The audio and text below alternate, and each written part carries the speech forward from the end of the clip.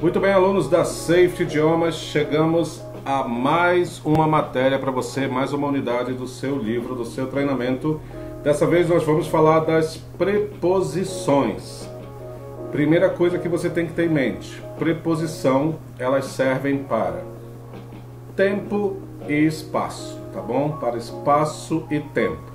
É nela que você vai localizar o contexto do que você está falando. Se você está falando, por exemplo, de algo que foi em determinado tempo, de algo que foi em determinado lugar, e você vai aprender não só as preposições, né, mas também expressões, exemplos de como elas são aplicadas e é muito fácil, tá bom?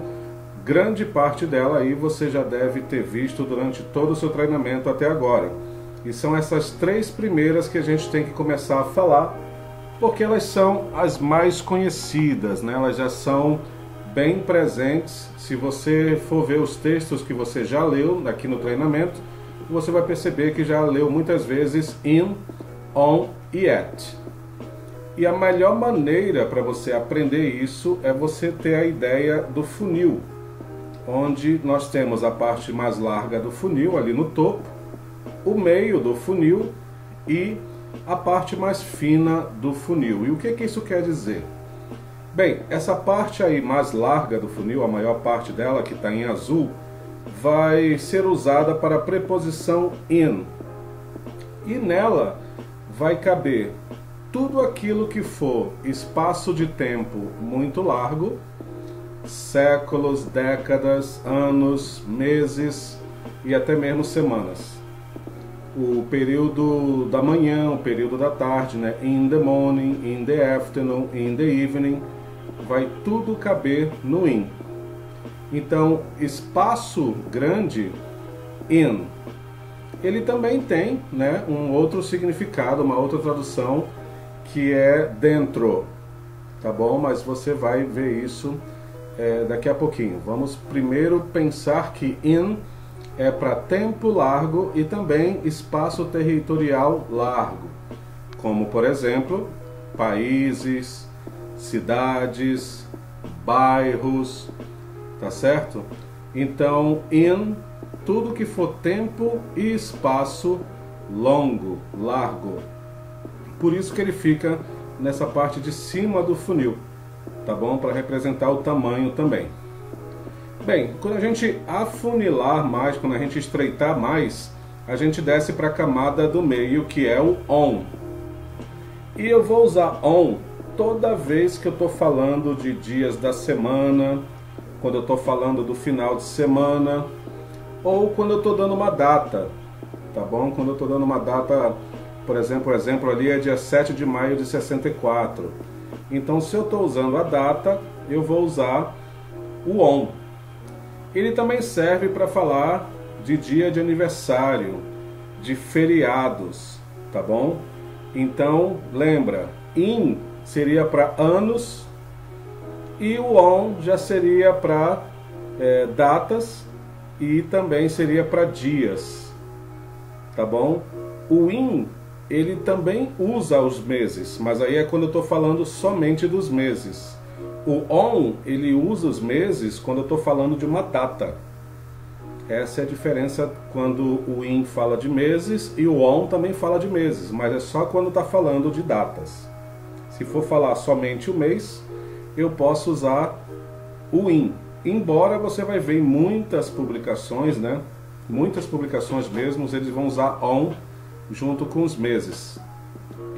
Muito bem, outra situação que eu uso on quando eu estou, é, digamos assim, sobre a rua, né? Quando eu estou em alguma rua determinada, ou quando eu sei que, por exemplo, uma escola fica numa rua, a empresa fica em uma rua, eu vou usar o on. E o nosso, ah, o on também tem outra tradução, né? O famoso the book is on the table. Então, assim como in também quer dizer dentro, o on quer também dizer sobre tá bom? Diferença aqui no funil, o in para tempo e espaço longo, o on para tempo e espaço já reduzido, datas, dias, final de semana e também quando eu estou na rua ou quando eu estou sobre alguma superfície. E o at, ele é a parte mais fina do funil, então ele vai ser para tratar as, do espaço e tempo específico, como por exemplo, horas exatas. Tá? Quando eu vou falar de horas exatas, eu vou usar at. Você já deve ter visto nos nossos exemplos aqui. E também vou usar at quando o endereço é específico, quando o espaço é específico. Então é nesse momento que eu vou usar at. Se você entendeu bem essas coisas do funil, você vai ver que in é usado então para tempos grandes, anos, décadas, é, séculos, e também para espaço de territorial grande, países, cidades, continentes, tá bom? Já o on ele vai ser para datas e dias, feriados, e ele também vai ser quando eu estou sobre na rua, digamos assim, sobre a rua, tá bom? E sobre também alguma coisa, e o in é dentro. Já o at, quando a hora for exata, quando o endereço for exato. Então o at é o mais fácil de lembrar, porque é tudo que for exato. O in também é fácil de lembrar, porque é tudo que for grande. E o on está no meio deles dois, é quando eu vou falar de dias e também feriados, datas comemorativas. Muito bem, eu tenho para você aqui tudo isso já digitadinho, tudo isso para você ler, tá bom? Você sabe que no curso a gente está forçando você a ler, a escrever, a falar, a escutar o tempo todo, porque são essas as competências que você tem que ter para poder chegar onde você quer. Então, não é querer te assustar não, mas esse documento aqui tem 26 páginas, já incluindo exercícios, e eles já estão lá na sua plataforma esperando por você. Tá bom? Nem preciso dizer que eles são importantes porque nós usamos ele o tempo todo, tá certo? Eu tenho exemplo aqui com o in, I live in Brasília, ou seja, Brasília é uma cidade grande, então eu uso in antes dela, tá certo? Na frase da direita, ali em negrito, no topo da tela, I took the English classes in 2019. Estou falando do ano de 2019, então eu preciso do in antes de falar desse ano.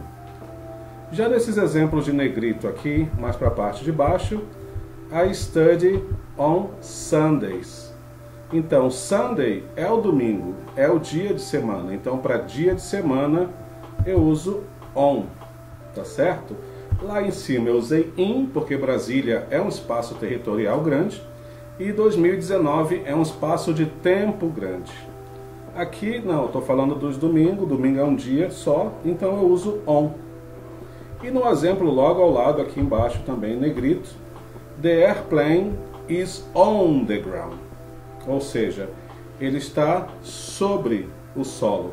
O on, né, a famosa frase the book is on the table, é por isso que você vai usar é, para tudo que for sobre. Inclusive a expressão on board, e você já viu a expressão aboard. O on board é usado exatamente porque você consegue caminhar na superfície da aeronave. E eles chamam de on board por isso. Vamos ver o que nós temos ainda aqui, né? Aqui eu estou dando o exemplo do at. O at, como eu falei lá em cima, eles são a parte mais fina do funil, ele é a parte mais específica do funil. Então aqui eu usei o exemplo de que a Safety Idioma is at setor comercial sul. Estou dando o endereço exato dela. Não está bem específico porque eu não quis botar o endereço todo. Mas fica naquele setor. Então eu uso at.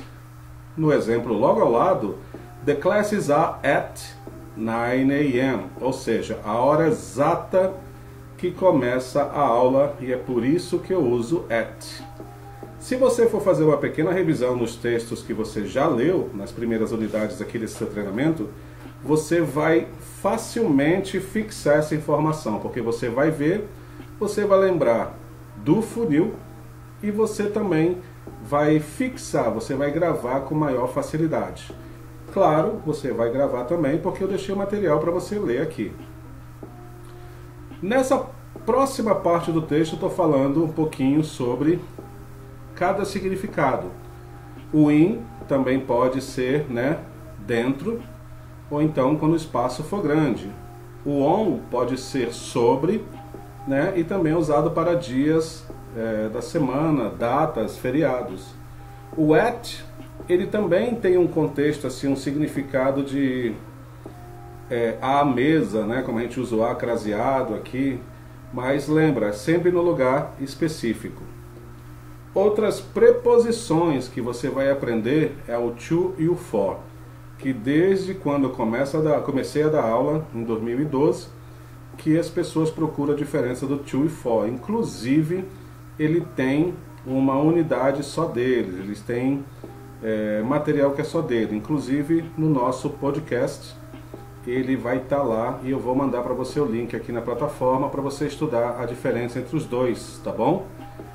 Como eu estou falando um pouco de preposições aqui, eu não quero muito mudar o tema. Bem, aqui tem alguns exemplos né, de como usar as preposições, você vai ter que ler e vai perceber né, qual parte do funil que está sendo usada naquela preposição. Por que, que usou in? Porque a primeira ali usou in porque eu estou falando do período da manhã, que compreende, né, sei lá, uma, uh, várias horas. Por isso que eu uso in. No segundo exemplo, eu estou dizendo he works at Latam, ou seja, o lugar exato onde ele trabalha, e no período da tarde, que são algumas horas. Por isso usa in. É um espaço de tempo longo. O terceiro exemplo aí tem o ano de 2020, então a gente vai usar in, tá certo? Ali também está falando dos anos e ali está falando de um período de tempo, que é o verão, no último exemplo ali, verão é um período de tempo grande, por isso que vamos usar in, tá certo? Aqui a explicação um pouquinho do, do da ideia de dentro, né, o in, então, às vezes você vai ter que perceber se está sobre, né, na descrição da imagem, on the picture ou in the picture. Né, vai depender do seu ponto de vista. Né? Eu vejo como está dentro da imagem, mas algumas vezes você vai ver as pessoas dizendo on, sobre a imagem. Tá? Eu considero ambos certos, mas eu prefiro falar in porque está dentro da imagem, né? não está não tá em cima do pedaço de papel ela está dentro de uma imagem, inserida dentro de um contexto, tá bom? Mais exemplos para você aqui, tudo que você vai ter que fazer realmente é ler, pegar essa ideia do at, aliás, do in, do on e do at. Aqui tem alguns exemplos do on, usando data, por isso que está usando o on. Também está falando ali de dia de semana, por isso que está usando on. E ali também está falando outra data, o mês e o dia, por isso que está usando on também. É muito fácil de entendê-los, as pessoas ficam com dúvida, mas depois que ela vê esse funil, elas já não têm tanta dúvida assim, tá certo? Eu só quero que você leia os exemplos, porque você lê os exemplos, você vai ter mais facilidade de entender isso que eu estou falando. A ideia vai fechar, né? vai ficar fácil de você entender. Então, tudo que você tem que fazer é ler os exemplos, mesmo porque logo aqui embaixo, depois desses exemplos todos aqui, eu tenho um exercício para a gente fazer, tá bem aqui. E esse já vai ser o nosso próximo vídeo. Então, a sua missão é dar uma olhada nesse conteúdo que eu vou que eu mandei para você, leia os exemplos, perceba a diferença, tá, entre o in o on e o at, e faça já o exercício para a gente conferir. Nós ainda temos outras preposições. Porém, como essas três são as que acontecem, são mais recorrentes, né? elas estão sempre aparecendo no dia a dia do idioma, eu criei esse primeiro vídeo só para tratar delas, tá bom? Se você ainda ficou com alguma dúvida no uso, pode perguntar à vontade, tá bom? Faça os exercícios para ver se é dúvida mesmo ou se você consegue. Né? Você já consegue fazer a partir da explicação e a partir do material que você vai ler. E no próximo vídeo a gente faz a correção para depois continuar com outras preposições que são importantes, porque você vai ver elas sempre em texto, em conversas, em, em filmes também, tá bom? Então até o próximo vídeo.